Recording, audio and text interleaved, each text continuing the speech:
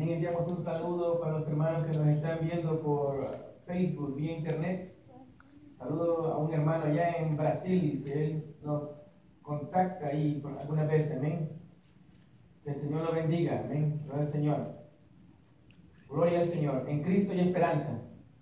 En Jesucristo hay esperanza, amén. Es un Dios de misericordia, amén. Y así como ha misericordia de nosotros, también tendrá misericordia allá en aquella iglesia dominicana, amén. Yo le digo al Señor, heme aquí, envíame a mí. Gloria al Señor. Si te, te vamos a pedir al Señor que nos envíe a Dominicana, amén. Para ver qué Dios va a hacer con estos hermanos allá en Dominicana.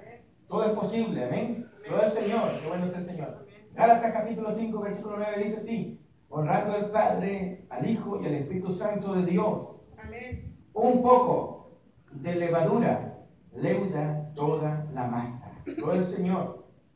Nuevamente leo. Un poco de levadura leuda toda la masa. Gracias. Honra, alabanza y adoración esta hora. Señor, habla tú. Yo voy a obedecer para que todos los que estamos aquí, incluyendo a mí, podamos entender lo que quieres decirnos en esta noche por medio de tu palabra. Gracias, Cristo. Atamos y reprendemos todo espíritu contrario a esta palabra que vamos a predicar en esta noche. gloria a Dios. Te damos gracias, Padre. Glorifícate en esta hora. Queremos ser mansos, queremos ser humildes delante de ti. Queremos, Señor, hacer lo que tú dices. Gracias, Padre. Gloria al Señor. Bendito sea el Señor. Amén. Puede sentarse, hermano. Gloria al Señor, vean mucha atención. Como la Biblia. Mi alma te bendice, Jesucristo. Mira lo que dice capítulo, Hechos capítulo 13, versículo 22. Quitado este, le levantó por rey a David, de quien yo, de quien dio testimonio, diciendo, he hallado a David, hijo de Isaí, varón conforme a mi corazón, quien hará todo lo que yo quiero. Eso es lo que Dios demanda y quiere que la iglesia entienda. Mayormente los que nos llamamos ser hijos de Dios, que entendamos cuál es el propósito de Dios. Lo que leímos en Gálatas, capítulo 5, versículo 9, con respecto a un poquito nada más de levadura y leuda toda la masa me pongo a pensar yo, ¿qué será cuando se echa un poquito de levadura extra en una masa que está preparando? Por ejemplo, una vez yo estaba haciendo, preparando la harina para hacer pancakes y le eché mucha levadura. Y cuando yo lo estaba preparando, sentía que la masa se estaba haciendo más gruesa. Pero eso no fue mi problema, yo le puse más leches. Yo dije, se acabó el problema, dije, no.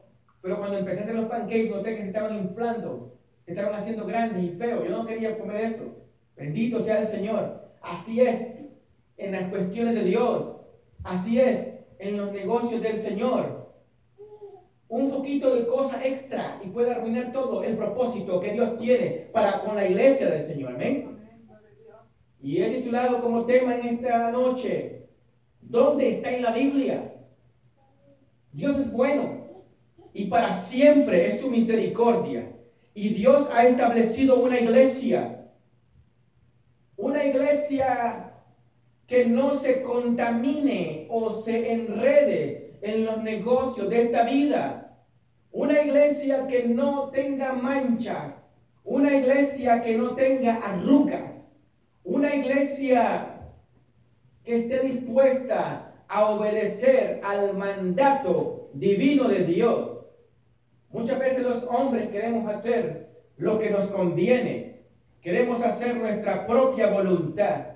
Dice la Biblia que para los hombres el camino que ellos llevan es, es correcto. Pero dice la Biblia que su final es camino de muerte, camino de perdición. Nosotros muchas veces los hombres como humanos creemos que estamos haciendo lo correcto delante de Dios. Y la Biblia dice que los hombres llamarán a lo que es malo, le llamarán bueno, y a lo que es bueno le van a llamar malo. Hay cosas que tenemos que entender, que tenemos que esforzarnos a poder comprender. Mejor dicho, tenemos que navegar. Muchas veces los cristianos navegan mucho en la internet y navegan en internet en páginas de web aprendiendo cosas. Bendito sea el Señor, pero si pudiéramos tomar ese tiempo para navegar en la Biblia, en la santa palabra de Dios, que es la palabra profética más segura, entonces podríamos abrir los ojos más y podríamos abrir nuestros oídos para escuchar lo que Dios tiene para con nuestra vida y podamos aprender más y podamos discernir lo que es agradable delante del Señor. Bendito sea su nombre.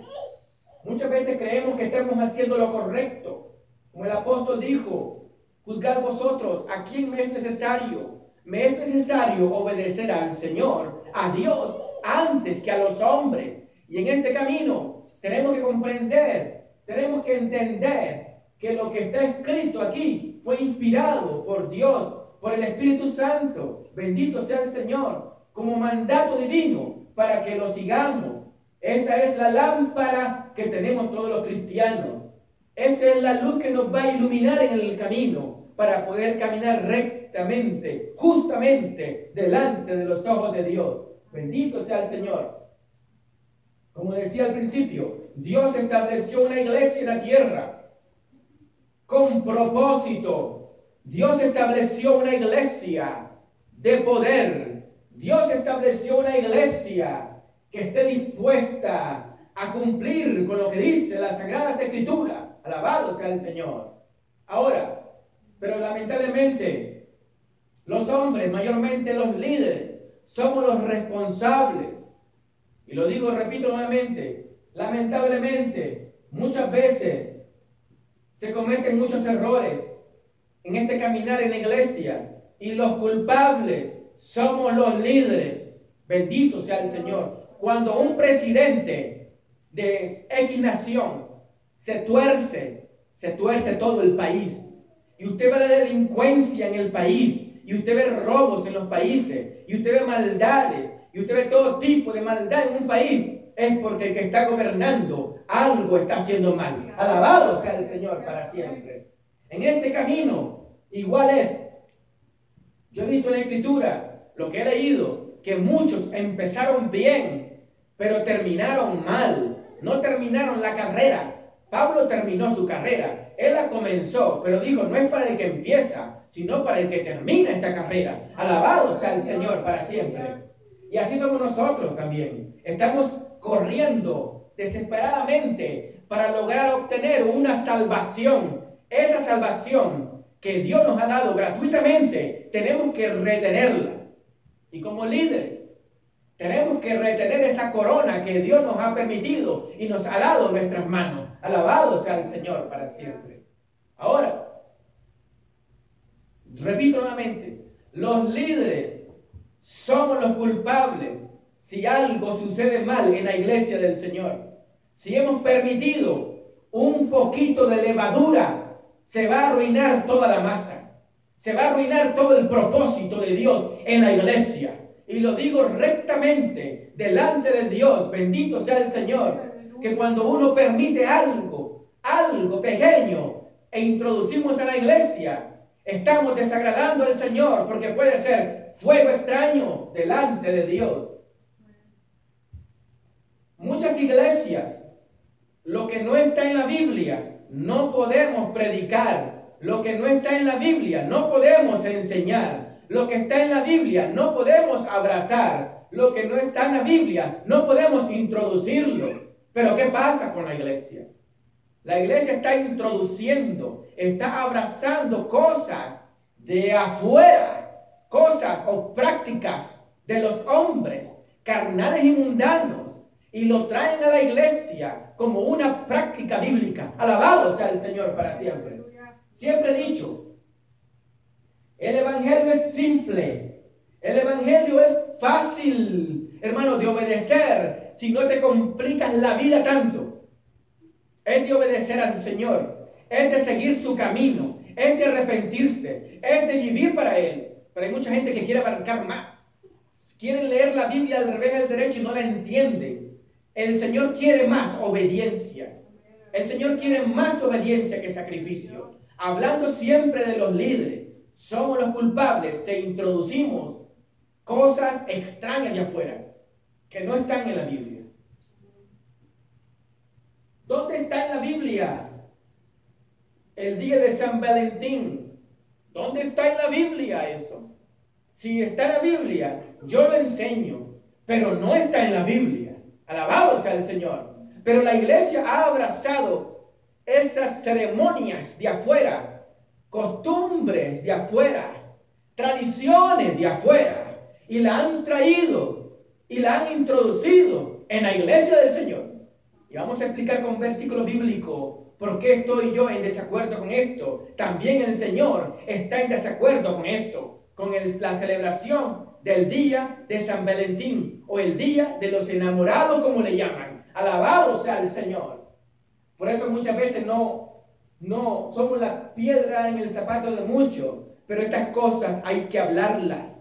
Porque si no las hablamos en aquel día, Dios nos va a llamar a cuenta y nos va a pesar en la balanza y nos va a decir, como aquella escritura en la pared, fuiste pesado, pero fuiste hallado falto. Alabado sea el Señor, por cobarde, bendito sea el Señor para siempre.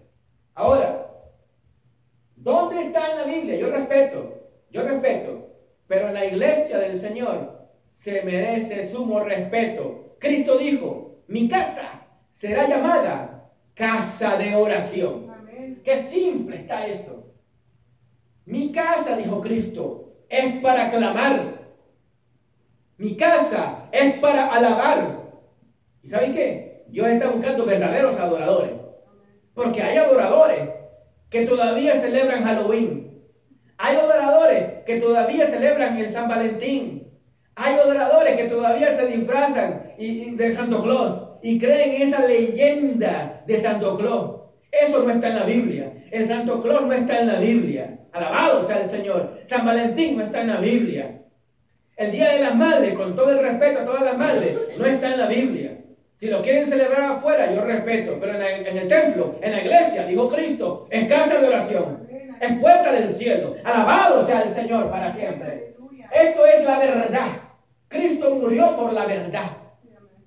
A Juan el Bautista le arrancaron la cabeza por decir la verdad. A Pablo le arrancaron la cabeza por decir la verdad. A Pedro lo crucificaron al revés por decir la verdad. Y todos los apóstoles fueron muertos por decir la verdad. Alabado sea el Señor para siempre. Esa es la verdad. Y la verdad nos hará libre.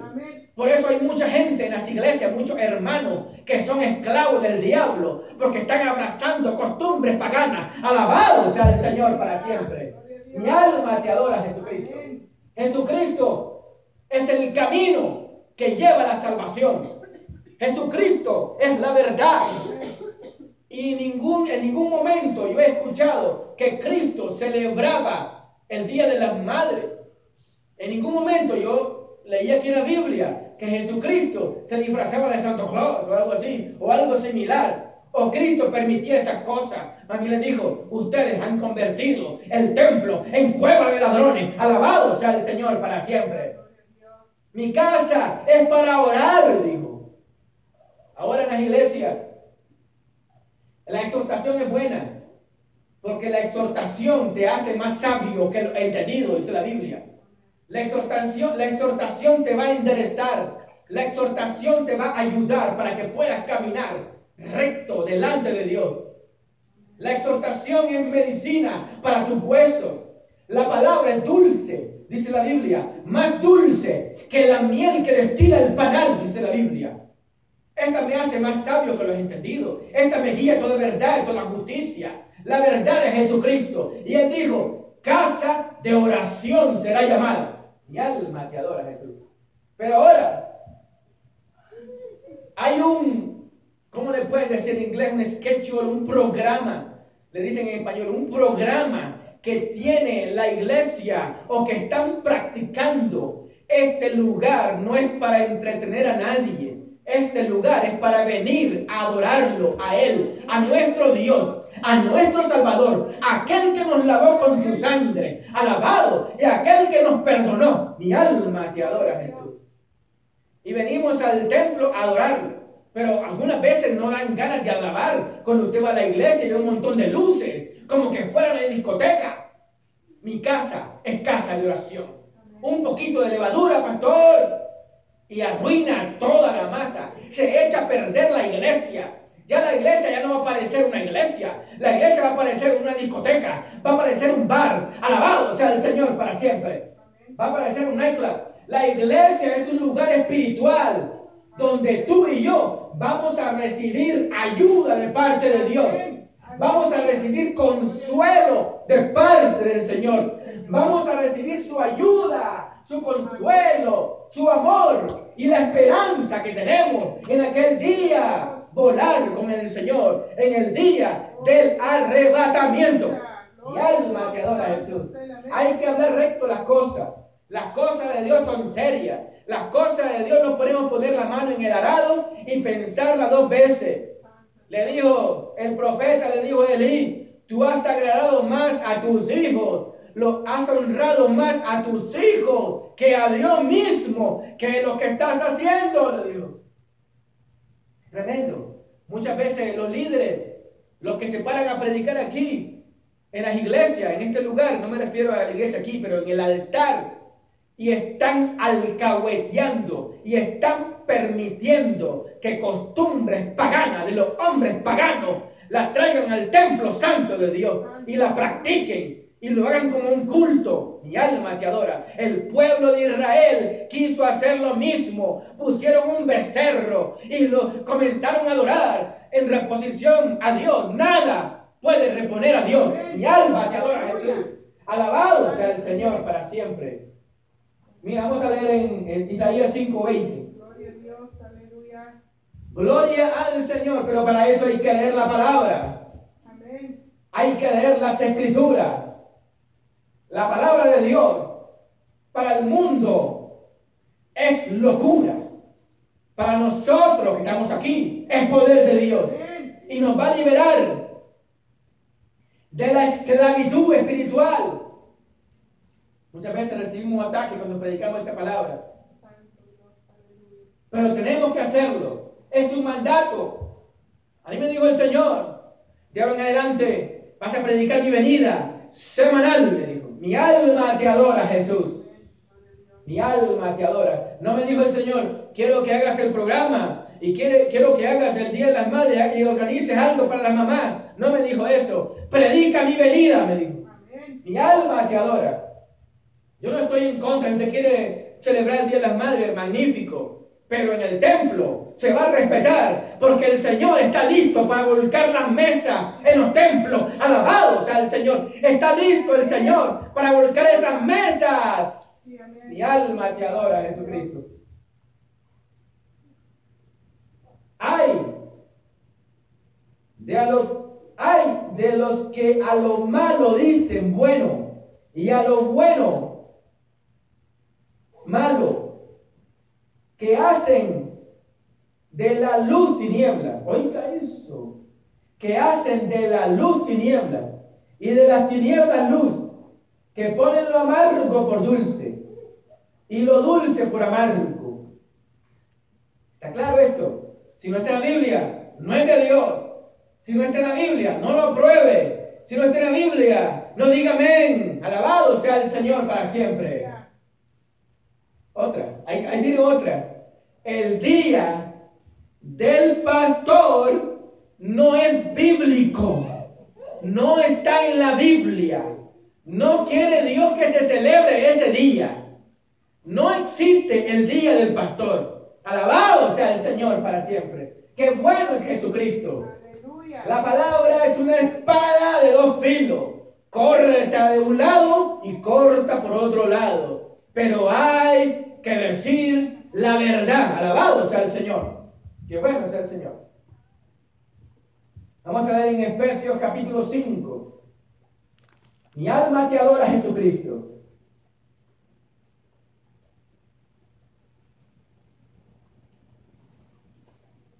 Gloria al Señor. Gloria, gloria a Jesucristo. Yo lo perdí. Si alguien lo tiene, me puede leer, por favor. Efesios 5:10, gloria al Señor. Amén. Dice, Fuerte, fuerte. comprobando lo que es agradable al Señor. Eso dice bien. Bueno, de- el 11 ahora. Y no participéis en las obras Infractuosas. de de las las tinieblas, sino más bien. Repréndelas. Gloria al Señor. Léanlo nuevamente fuerte. El 11 y el 12. Y no participéis en las obras infructuosas de las tinieblas, sino más bien reprenderlas, Amén. porque vergonzoso es aún hablar de lo que ellos hacen en secreto. Gloria al Señor. Dice más bien que tenemos que reprender las obras infractuosas de las tinieblas. Dice que no seamos partícipes de las obras de las tinieblas. ¿Cuáles son las obras de las tinieblas? Todo lo que no está en la Biblia. Todo lo que está en el mundo. Todo lo que no es de Dios. Todo lo que es en contra de Dios. Son obras infractuosas de las tinieblas. Y no podemos ser partícipes de, Halloween. No podemos ser partícipes de, cele- celebrar el Día de las Madres en el templo de Dios. O celebrar el Día del Pastor. O, ce- o celebrar, eh, eh, ¿cómo se llama? El nacimiento. No se puede. No nació en diciembre. Según el calendario de los judíos, nació como en abril. Bendito sea el Señor para siempre.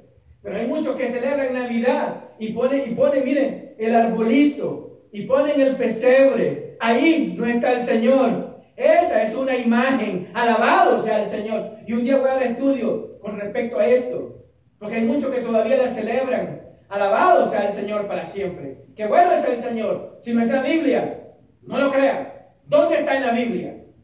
¿Dónde está en la Biblia? Cuando te dicen, para que el Señor te haga un milagro, tienes que pagar 100 dólares. ¿Dónde está en la Biblia? Aleluya. ¿Sabes lo que dice la Biblia? Lo que recibiste de gracia, dalo de gracia. El Evangelio es gratuito. No tienes que pagar por un milagro. Alabado sea el Señor para siempre. Santo Dios. Solo tienes que venir a Jesucristo y el Espíritu Santo te va a sanar. Pero no tienes que hacer pacto para que Dios te sane. Aquí no hay pacto que valga. El pacto que vale fue el que hizo Cristo en la cruz del Calvario para perdonar tu pecado y mi pecado. Alabado sea el Señor para siempre. No hay pacto que valga. No hay validez en ningún pacto. Solo el que hizo Cristo en la cruz del Calvario. Alabado sea el Señor para siempre. Que vuelve Jesucristo. ¿Dónde está la Biblia? El bautizar a los niños a los nueve meses. ¿Dónde está en la Biblia el bautismo de niños? Mi alma te adora, Jesús. Mi alma te bendice. Cristo se bautizó como a los 30 años. Mi alma te adora. ¿Cuál es el problema? Él, Él es Dios. Bendito, sigámoslo a Él. Hagamos lo que Él hizo. Pero ¿por qué bautizar a los niños? Un niño no tiene de qué arrepentirse. Mi alma te adora, Jesús. Mi alma te adora. La palabra es dura. Dura es tu palabra. ¿Quién la podrá llevar? Pero es la verdad. Y la verdad te va a hacer libre. Mi alma te adora. Vamos a leer Ezequiel 44. Gloria al Señor, aleluya. Ezequiel capítulo 44. Y en el versículo 23.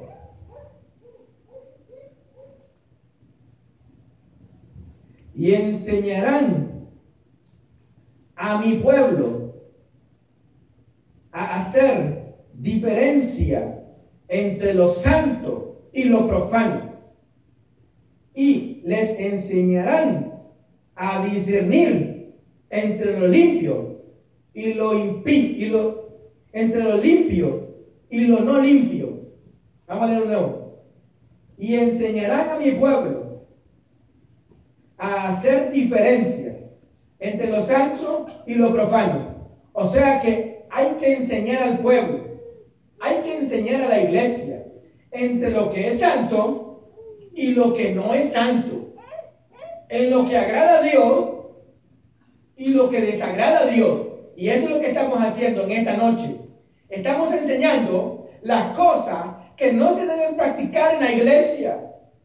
las cosas que no me son permitidas hacer en la iglesia o permitir como un culto en la iglesia. Alabado sea el Señor. Pablo dijo, todo me es lícito, pero no todo me conviene. Hay cosas que no convienen. Hay cosas que mejor apartarse de ellas. Hay cosas que mejor no aceptarlas. Porque esas cosas te pueden llevar a la perdición. Esas cosas te pueden llevar a la condenación eterna. Porque son cosas que no son limpias, que no son santas, que no son de Dios. Mi alma te adora. Y dice el Señor que tenemos que enseñar a hacer diferencia entre lo que es santo y lo que es profano, entre lo que es limpio y lo que no es limpio. Alabado sea el Señor para siempre. Tenemos que aprender, hermano, a discernir, en hacer diferencia en lo que es para Dios y lo que no edifica, lo que no es para Dios, no dárselo a Dios, porque Dios es santo. Y Dios no va a recibir la ofrenda de esa forma, sino vamos a dar una ofrenda como la ofrenda que dio Caín. Entonces Dios no la va a recibir, porque no es una ofrenda genuina. Alabado sea el Señor para siempre. Primera de Juan capítulo 2, versículo 15.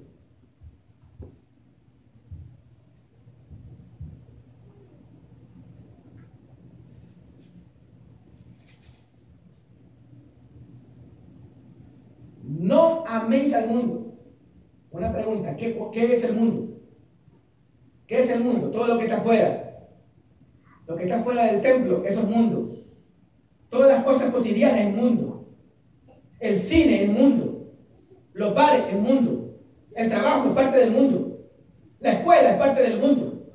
Y todas esas cosas no son malas. La escuela no es malo, pero no te salva.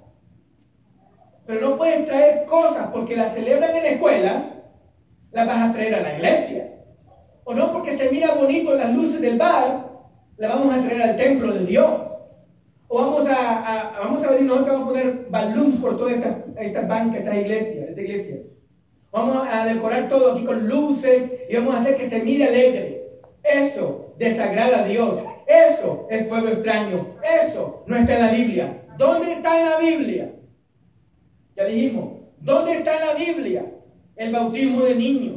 ¿Dónde está en la Biblia el día del pastor? ¿Dónde está en la Biblia el celebrar Navidad? ¿Dónde está en la Biblia el día de las madres? ¿Dónde está en la Biblia todas esas cosas? Mi alma te adora. ¿Dónde está en la Biblia que vamos a hacer un pacto y vamos a recibir sanidad de parte de, Dios? ¿Dónde está en la Biblia eso? Mi alma te adora. Pero la iglesia está aceptando esas cosas.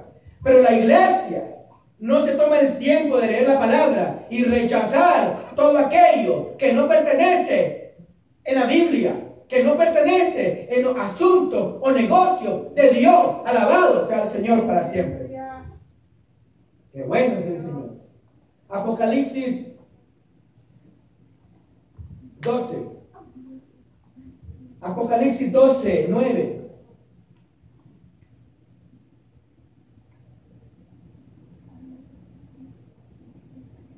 para concluir. Y fue lanzado fuera el gran dragón, la serpiente antigua, que se llama Diablo y Satanás, el cual engaña al mundo entero. Fue arrojado a la tierra y sus ángeles fueron arrojados con él. Ahora lo que dice, que el diablo y Satanás, el cual engaña al mundo. ¿Quién engaña al mundo? el diablo, Satanás, que el Señor reprenda, engaña al mundo. Dice que fue arrojado y sus ángeles fueron arrojados con él. Ese es el que está engañando. Ese es el mentiroso. Ese es el que está haciendo creer que se pueden hacer cosas en la iglesia. El diablo, que el Señor lo reprenda, es el que está haciendo creer a los pastores, a los evangelistas, que se puede o se puede permitir ciertas cosas en la iglesia. Usted ve evangelistas que Dios los usa grandemente en milagros, y los usa terriblemente con la palabra. Pero vean a su esposa y vean a sus hijos el mal testimonio que están dando. Vean a un, un hombre de Dios, una mujer de Dios, hasta en la forma de vestir, tiene que mostrar la diferencia de que Cristo está con él o que está con ella. Mayormente los que tienen el llamado al ministerio. Alabado sea el Señor para siempre. Pero hay cosas que estamos aceptándolo. Hay cosas que estamos abrazando. Vamos a estar en pie todos. Hay cosas que estamos permitiendo. Y recuerden, Gálatas 5.9. Un poquito de levadura y leuda toda la masa. Un poquito que tú infiltres o dejes colar en tu iglesia. Si tú eres pastor que estás escuchando, un poquito que tú permitas o abrazas cosas que no son de Dios, que son del mundo, y las traes a la iglesia, se te va a arruinar la congregación, se te van a arruinar los hermanos. Un poquito de levadura y se arruina todo, todo el asunto, todo el propósito. Ahora, un poquito de levadura en nuestra vida como hermanos y puede arruinar el propósito que, que Dios tiene para con nosotros. Un poquito, un poquito. Es que un poquito puedo escuchar música mundana de vez en cuando. Eso es bien nice, es bien cool. Un poquito de levadura y te puede mandar para las paredes del infierno. Así es de claro esto. Es que puedes ir a un baile después de la iglesia, hermano, hermana. El pastor no se va a enojar. El pastor no se va a enojar. Pero Dios se va a molestar contigo. Alabado sea el Señor para siempre. Qué bueno. Vamos a darle gracias al Señor en esta hora. Vamos a glorificar a Jesucristo. Un poquito de levadura y leuda toda la masa. Un poquito de levadura y se arruina todo el propósito de Dios con la iglesia. Dios tiene un trato con la iglesia. Dios tiene un propósito con la iglesia. Pero se está arruinando ese propósito. Y nosotros los líderes somos los responsables. Pero ahora yo digo a todos los que están escuchando en este lugar y a los que están escuchando por vía internet que todavía hay tiempo Paraos en los caminos, pastor, pastores, evangelistas, misioneros. Paraos en los caminos y preguntar por la senda antigua. En la senda antigua no se celebraba el Halloween en la iglesia. En la senda antigua no, no, no se ponían luces en los templos. Volvamos al primer amor. Volvamos a la senda antigua, al camino correcto de Cristo. Volvamos al propósito de Dios. Volvamos al propósito de Dios. Hemos perdido el propósito de Dios. Paremos en los caminos y preguntemos, ¿cuál es la senda en que Dios me puso cuando empecé en el ministerio? Alabados al Señor. Gracias, Padre. Te doy gracias por esta palabra. Te doy gracias por mis hermanos que están en este lugar. Te doy gracias por lo que están escuchando por vía internet. Te doy gracias, Dios mío, por el propósito que tú tienes con cada uno de nosotros. Gracias, Cristo, por esta palabra que nos has dado en esta hora. Te adoramos, yo he cumplido, Señor, con mi ministerio. He cumplido con lo que tú me has dado.